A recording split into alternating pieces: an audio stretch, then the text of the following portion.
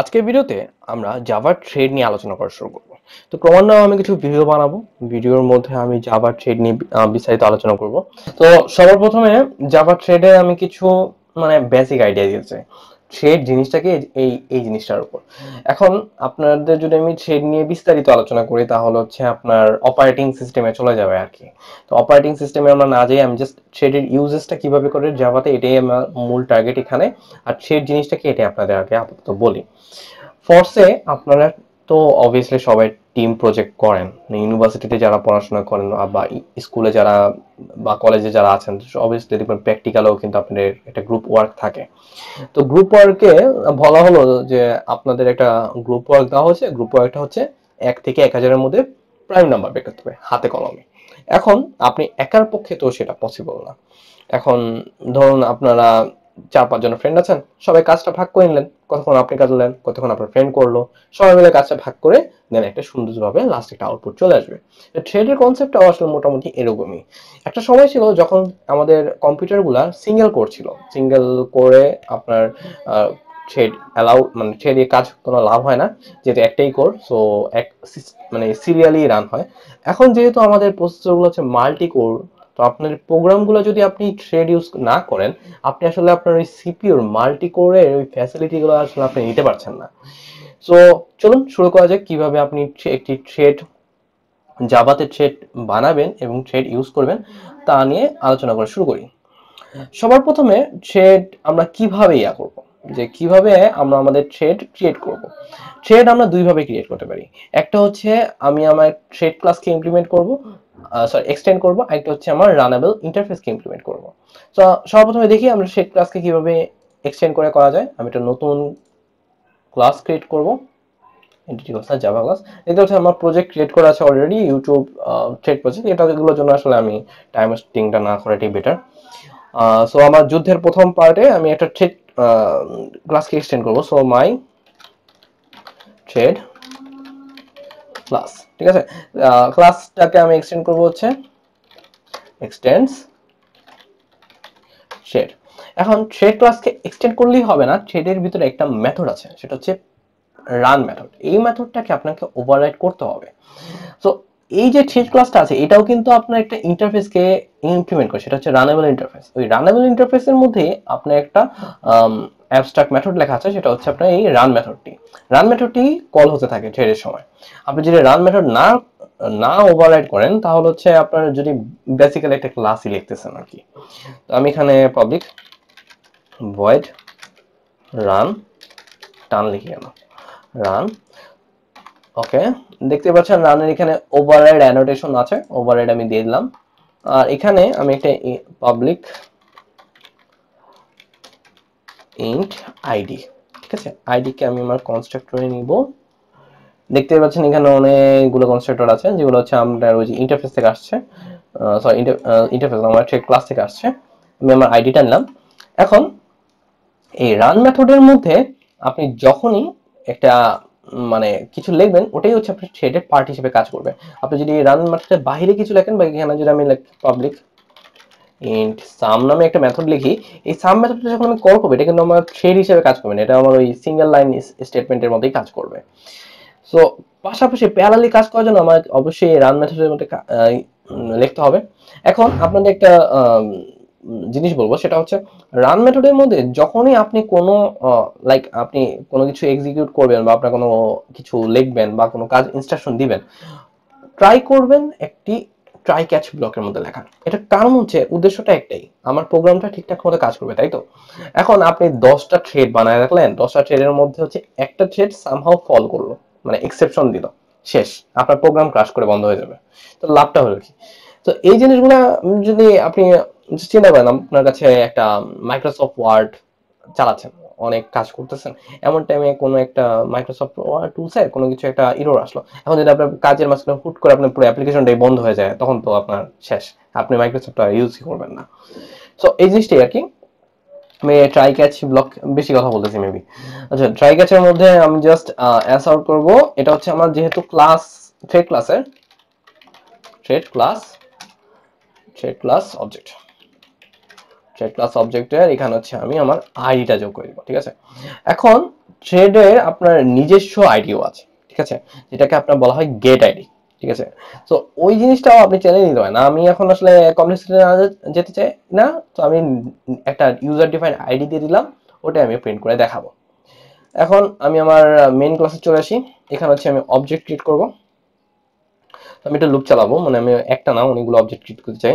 So for equal one i less than twenty আচ্ছা twenty না, আমি লেস দেন ইকুয়াল টেন দশটার বেশি না করাটাই বেটার স্ক্রিন ওভারলোড হয়ে যাবে মানে স্ক্রিনে আপনার দেখবেন না কনসোলে সব। ওকে এখানে হচ্ছে মাই থ্রেড ক্লাস এর object equal to new my thread class okay আমি আমার কনস্ট্রাক্টরে পাঠিয়ে দিলাম। আর কি করব? সেটা হচ্ছে, এখন একটা গুরুত্বপূর্ণ ফাংশন সেটা হচ্ছে আপনার thread dot object sorry object dot start আছে? আপনি যদি স্টার্ট মেথড কল না করেন, তাহলে হচ্ছে আপনার থ্রেড স্টার্ট হবে না। আপনি যদি মনে করেন যে, না, আমি এখানে অবজেক্ট ডট রান রান মেথডটাকে কল করে দিই, তাহলেও আপনার থ্রেড কাজ করবে না। এটা কারণ হচ্ছে যখনই আমার এই যে, এই রান মেথডটা আছে, আপনাদের তো মানে অ্যাটলিস্ট এটা একটু বোঝাচ্ছে আচ্ছা ঠিক আছে, আমার থ্রেডের মধ্যে যেহেতু রানের ভিতরে সব কাজগুলো হচ্ছে, আমি রান মেথড কল করলেই তো হইতো। সমস্যা কি? কেন আমার এখানে আলাদা করে স্টার্ট মেথডকে কল করতে হচ্ছে? এটার উদ্দেশ্যই হচ্ছে, আমার জেভিএম কে বোঝানোর জন্য যে, আপনার একটা স্টার্ট আছে। থ্রেডটা স্টার্ট হচ্ছে। সো এই জিনিসটা জেভিএম কীভাবে বুঝে? যখন আপনি স্টার্ট মেথডটা কল করেন, এই থ্রেডের এগেনস্টে একটি স্ট্যাক কল থাকে। স্ট্যাক কলটাকে আপনার ওই প্রোগ্রাম স্ট্যাকের মধ্যে ইয়ে পুশ করে দেয়। যখন আপনার থ্রেডের কাজ শেষ হয়ে যায়, ওটা আপনাকে পপ করে শেষ করে দেয়। তো এই জিনিসটাও কিন্তু ইম্পর্টেন্ট থ্রেড স্টার্ট না দিলে আপনার কিন্তু থ্রেড স্টার্ট হবে না।